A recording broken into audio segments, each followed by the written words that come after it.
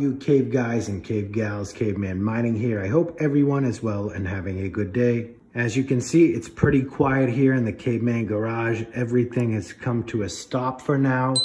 And it is because we are doing the latest uh, updates for the miner software. What we're going to be doing today is testing out the latest version of Gminer 2.75, and that is for the light hash rate card on the 3060 RTX the revision 2 and uh, essentially they've done some new updates where it increases the performance of the card.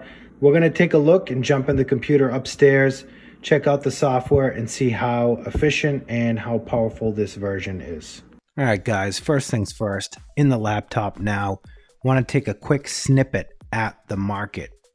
As you guys know over the last couple days things have been extremely volatile regarding bitcoin ethereum all other altcoins. You guys saw that we dipped down into the bottom 30,000 range, I think 32,000, 31,000 uh, range for Bitcoin, and then we were down to almost 2,000 for Ethereum. So buckle up, strap in, hang on tight because we are in for a little bit of a bumpy road here.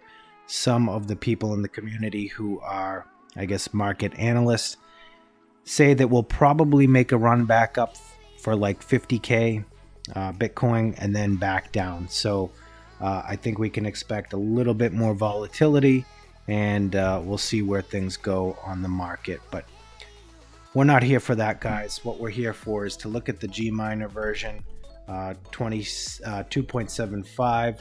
Uh, let's get the release notes and take a look at what this means. You guys can see here at the uh, GitHub page, this has major performance improvement uh, for LHR GPUs on Ethereum.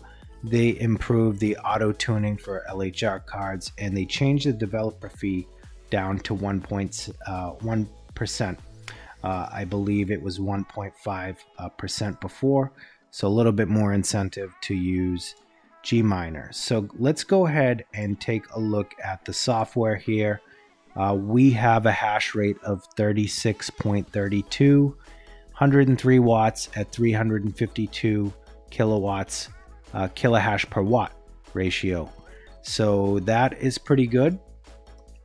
Let's take a look at our clocks here. So we have a power limit of 65, core clock of minus 502, memory of 1339. So again, I always push the memory a little bit uh, high on this uh, gigabyte uh, 3060 light hash revision 2 card, cranking the fans up to 100%, keeping it nice and cool. And as you guys can see here at the wall, we are roughly about 100 and let's see 152 watts give or take at the wall so I know this motherboard has the makeup of about 45 watts without, uh, I guess, without running any mining software uh, or running uh, anything at high power.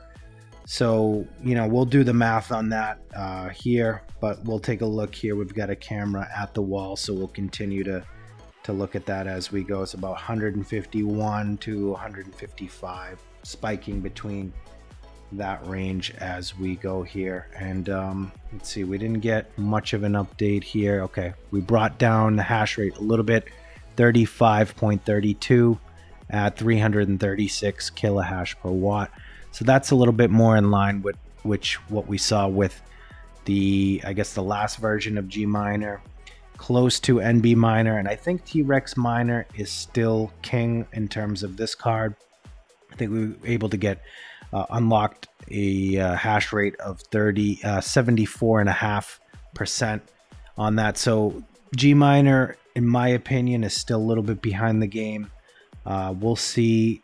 I like this because it's been a little while that any of these mining developers have released any updates. So I know this is kind of a minor one in terms of like overall performance improvement, but hopefully it kickstarts the, I guess, the juices flowing between these development teams to release a little bit more a frequency on these mining updates. So let's go ahead and we're going to do a quick what to mine profitability uh, on that based off of the market uh, as we see it right now. So let's go ahead and clear everything we have out here. So we said uh, 36.25 was the highest and we were about 155 watts at the wall. So let's go ahead and calculate that based off of everything. So $1, okay? that is based off of the value of where Ethereum is at, the difficulty, the network hash rate, and of course, this hash rate. So, profitability, guys, is gone way down, but there might have been some videos that you followed out there. I think Seb's FinTech did a nice one about this is actually the time to mine. Uh, being that the market is dipping down, we may have people that are uh, pulling off the networks, um, maybe even shutting off their mining rigs, or even selling their their equipment. So, um, you know, I'll say this from my from my experiences: when we hit this type of scenario, and I guess your electricity, if it's still profitable for you to mine, I think you know, full full steam ahead, keep going. Don't let this deter you on the market. Again, not financial advice, but this is what I plan on doing. In my situation, I know things will correct at some point in time. But as always, guys, I hope you found this video helpful. I am eager to see more updates from the miner uh, developers to keep doing these.